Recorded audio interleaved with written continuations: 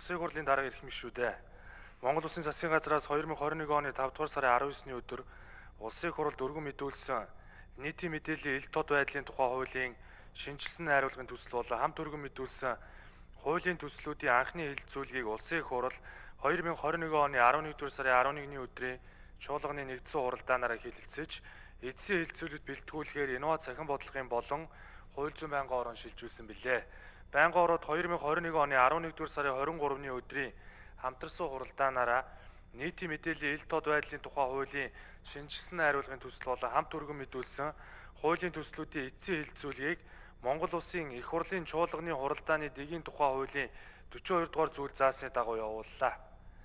Хуулийн төслийн эцсийн хэлэлцүүлгийг явуулах үед Улсын их хурлын гишүүн Инх баяр төрийн болон албаны нууцын тухай хуулийн төслийн боловсруулалтын явцын талаар асуулт асууж хариулт авсан болно.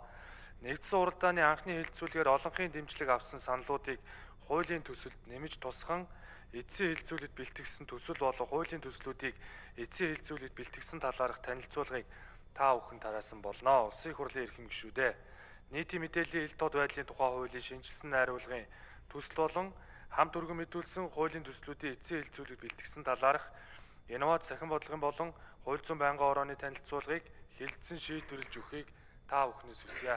Анхаарал тавьсанд баярлалаа.